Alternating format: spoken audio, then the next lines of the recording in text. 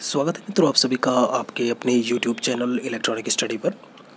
आज के अपनी इस वीडियो में हम बात करने वाले हैं आपके जो आगामी परीक्षाएँ हैं CTET और यू उनसे, उनके लिए हिंदी के शिक्षा शास्त्र के कुछ सवाल हैं, जिनके बारे में आज हम यहाँ पर बात करेंगे। वीडियो में लास्ट तक बने रहिएगा।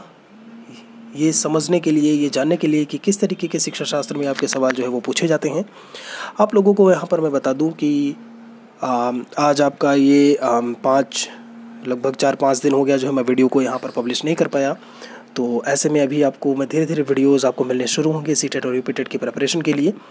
दोस्तों, पहला सवाल पे आते हैं। पहले सवाल पर इसमें लिखा हुआ है, कौन सा कथन इनमें से सही नहीं है? भाषा प्रतीकों का व्यवस्थित ढांचा है। भाषा जो है, हमारे अनुभव बांटने के काम आती है। भाषा बिना संस्कृति संचारित नहीं हो सकेगी या संप्रेषण के लिए बोली हुई भाषा जो है, वो आवश्यक है। तो इसमें से आपको बताना है कि कौन सा स्टेटमेंट जो है वो रॉन्ग है। आप लोग अपना आंसर भी बिल्कुल दे दिए होंगे। मैं आपको बता दूँ, जब आप रॉन्ग स्टेटमेंट के बारे में बात करते हो तो प्रतीकों का व्यवस्थित ढांचा है, ये तो बिल्कुल सही है आपका। भाषा हमारे अनुभव बांटने के काम आती है, ये भी आप कंसिडर कर सकते हो कि ये सही है। संप्रेषण के लिए बोली हुई भाषा आवश्यक है। ये भी ज़रूरी है। यहाँ पर लिखा है कि भाषा बिना संस्कृति जो है वो संचारित नहीं हो सकती। ये ज़रूरी नहीं है। बिना भाषा के भी जो कल्चर की बात है, उसे, उसका ट्रांसफॉर्मेशन हो सकता है, उसका संचारण हो सकता है, प्रतीक हैं और भी बाकी बहुत सारी चीज़ें हैं, ठीक है? मौन तरीके से और भी बहुत सारी जो है वेज हैं, रास्ते हैं, जिनके माध्यम से कल्चर को ट्रांसफॉर्मेशन, कल्चर के ट्रांसफॉर्मेशन को लेकर के बात हो सकती है। तो जो इनकरेक्ट है, वो आपका है सी यहाँ पर आपका आंसर सी आएगा। नेक्स्ट क्वेश्चन आपका लिखा हुआ है।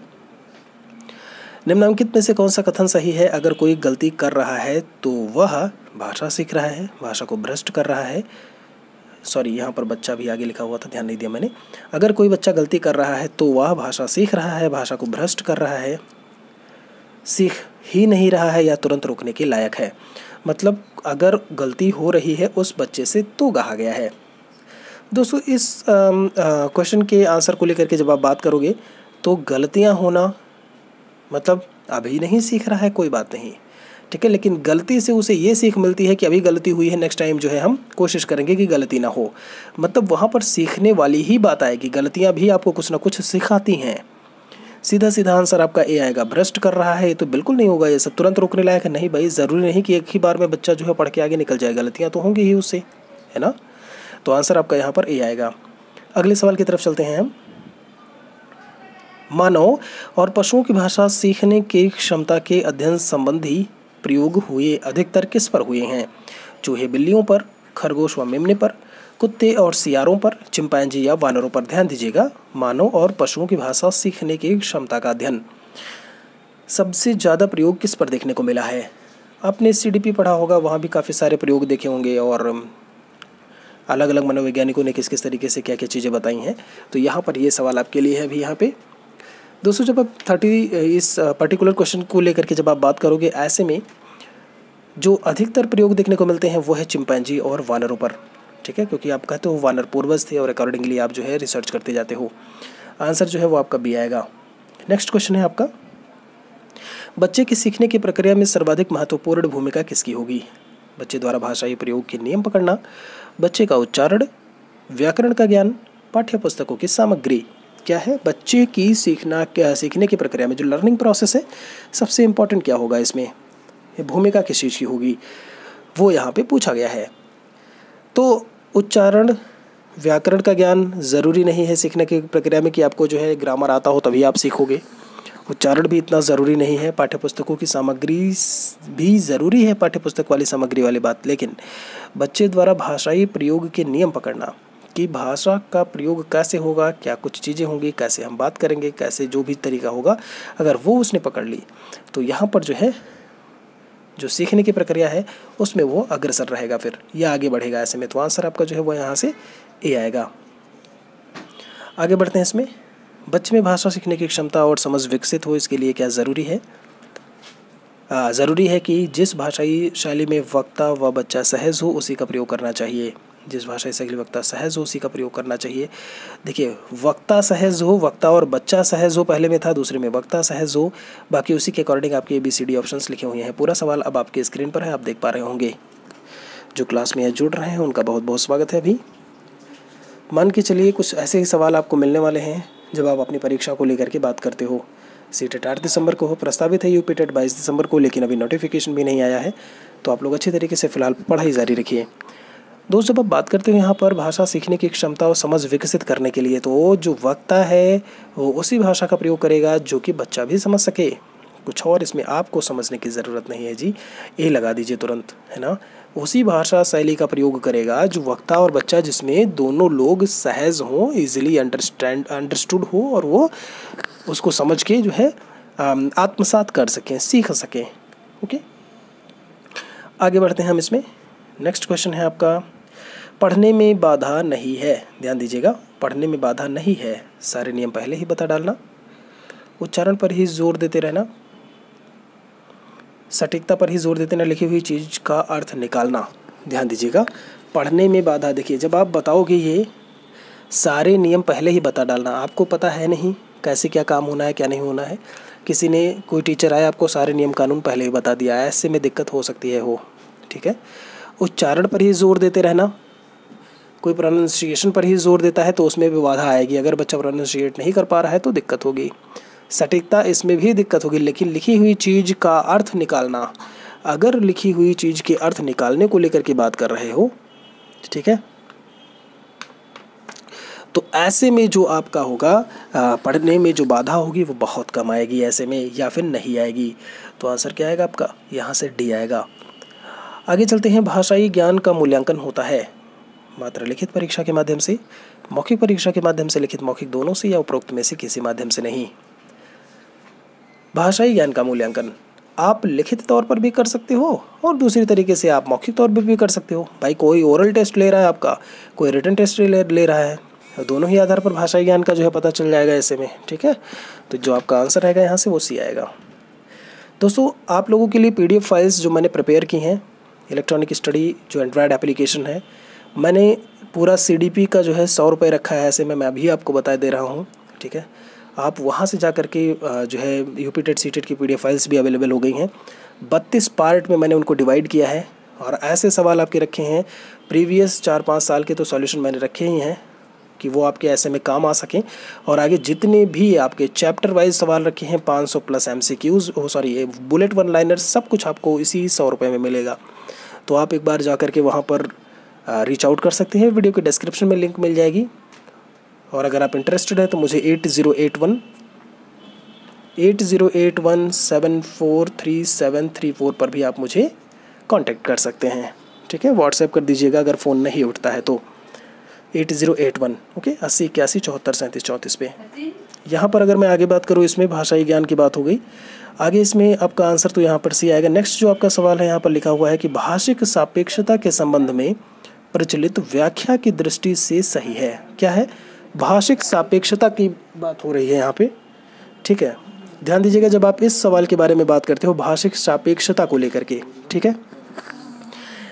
यहाँ पर आपके जो ऑप्शंस हैं, भाषा का विचारों पर बहुत गहरा प्रभाव पड़ता है। भाषा विचारों को प्रभावित नहीं करती है, भाषा कुछ हद तक विचारों को प्रभावित करती है या उपरोक्त में से तीनों सही हैं। दोस्तों, जब आप इस चीज़ को लेकर के बात करते हो, भाषिक सापेक्षता के संबंध में प्रचलित व्याख्या की दृष्टि से सही है तो कुछ हद तक विचारों को प्रभावित करना प्रभावित नहीं करती, ये तो बिल्कुल गलत है आपका। बी बिल्कुल गलत है। तो बी अगर गलत है तो ये भी गलत हो गया आपका। भाषा का विचारों पर बहुत गहरा प्रभाव पड़ता है, एकदम करेक्ट स्टेटमेंट है आपका। ठीक है? आंसर जो है यहाँ से वो आपका आएगा ए ठीक है? इस चीज़ का ख्याल रखिएगा। चलिए, हम बढ़ते हैं अगले सवाल की तरफ़। अगला सवाल आपका लिखा हुआ है इसमें। निम्नलिखित में से कौन सा सिद्धांत भाषा के उद्भव और विकास से संबंधित है? बिग बैंग डिग डिगडोंग करके बे जो है बिली बैली करके है और डिली टैली करके। भाषा के उद्भव और विकास से संबंधित सिद्धांत के बारे में यहाँ पर सवाल पूछा गया है। ओके? ध्यान दीजिएगा, ये जो डिगडोंग सिद्धांत करके है आपका, ये भाषा के उद्भव और विकास से संबंधित है आंसर आपका, ये आएगा बिग बैंग जो थ्योरी है ना, जॉर्ज लैमन थेयर करके है। लेमन करके होता है लेमन थेयर करके तैयार करके आप बोलते हो, ये पृथ्वी की उत्पत्ति को लेकर के सिद्धांत था। चलिए आगे बढ़ते हैं इसमें हम।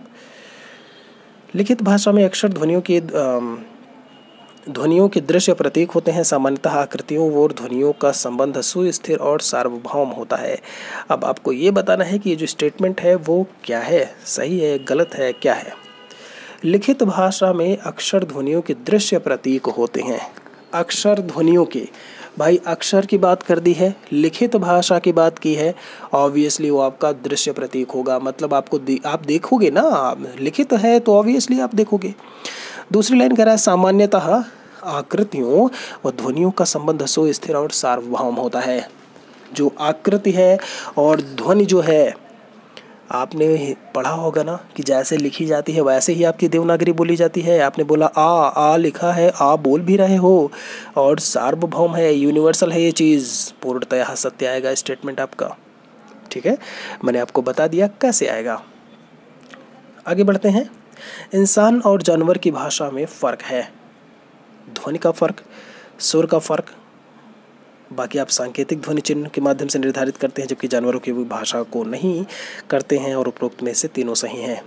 इंसान, जानवर को लेकर के आपका तो आंसर आ क्या होगा, है ना? बड़ा वाला लगा दिया होगा आपने इसमें। बिल्कुल सही है। वैसे भी आप ज़रा देखोगे ना तो आप सी वाला जो आपका निकल के आएगा, क्योंकि जानवरों की तो कोई भाषा ही नहीं होती है आपकी। नेक्स्ट बच्चे की भाषाई क्षमता के आकलन का सही तरीका यह नहीं है। कौन सा नहीं है? बच्चे का व्यक्तिगत आकलन, बच्चे का सामूहिक आकलन या स्व आकलन या फिर पेपर पेंसिल आकलन।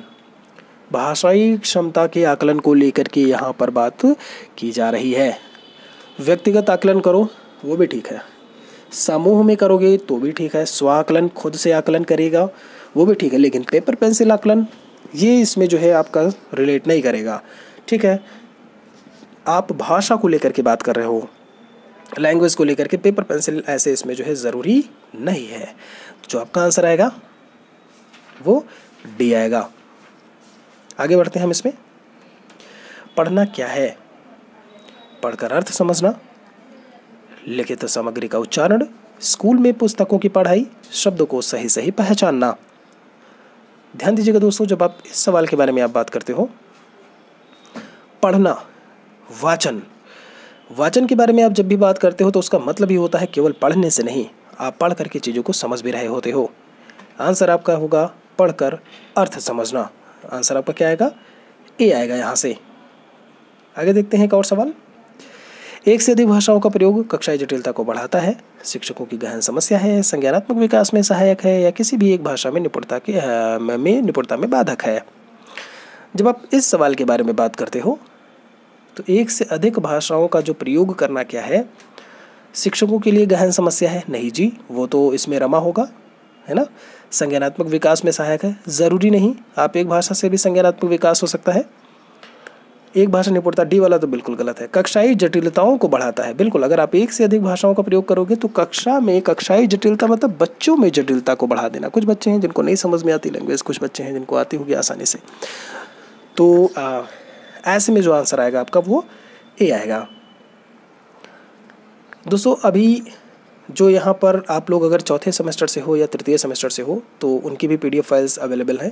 अभी मैंने ऑल पीडीएफ का एक सेक्शन वहाँ पर दे दिया है, ठीक है? ऑल सब्जेक्ट पीडीएफ और वहाँ पर मैंने दाम भी कम कर दिए हैं। आप वन टाइम जो है परचेज करके सारे पीडीएफ फाइल्स को पढ़ सकते हो तो एक बार आप इसे भी देख सकते हो। रिक्वेस्ट है आपसे इससे कि जो एप्लीकेशन है, उसे अनइंस्टॉल ऐसे ना करिएगा।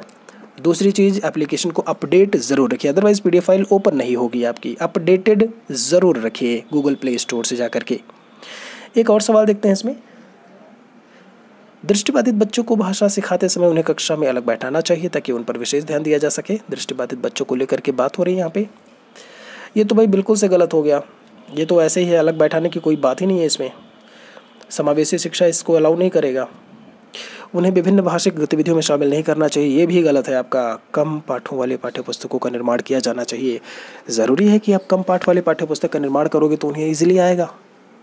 डी लिखा हुआ है, अधिक से अधिक मौखिक भाषा का प्रयोग करना चाहिए। ये सबसे करेक्ट होगा आपका। अगर आप ज़्यादा से ज़्यादा ओरल लैंग्वेज का यूज़ कर रहे हो ऐसे में, अब आपको पूरा दिख रहा होगा सवाल। और यहाँ पर जो ऑप्शन है तो बच्चों को ज़्यादा समझ में आएगा क्योंकि वो दृष्टि बाधित है, वो देख नहीं पा रहे हैं, लेकिन वो सुन पा रहे हैं। तो आप मौखिक भाषा का अधिकाधिक प्रयोग करिए। तो जो आंसर आएगा वो आपका डी आएगा। दोस्तों, इतना ही था आज के इस वीडियो में। कल भी आपका शाम के सात बजे आपका लेक्चर आएगा ऐसे ही, ठीक है? आप लोगों को मैं बता दूँ स्क्रीन पर आ रहे इन वीडियोज़ को भी आप ज़रूर देखें। जो तीन वीडियोज़ हैं, जो नए हैं चैनल को सब्सक्राइब आप ज़रूर कर लें, ऐसे ही अपने, यहाँ से अपडेटेड रहने के लिए। जो सक्षम है जो चाह रहे हैं, ऐसे में वो पीडीएफ फ़ाइल परचेज़ कर सकते हैं। अदरवाइज़ पूरा कोर्स आपका मैं कंप्लीट कराऊँगा U P TET C TET को लेकर के। हम जल्दी ही मिलते हैं एक नए वीडियो के साथ में। Thanks for watching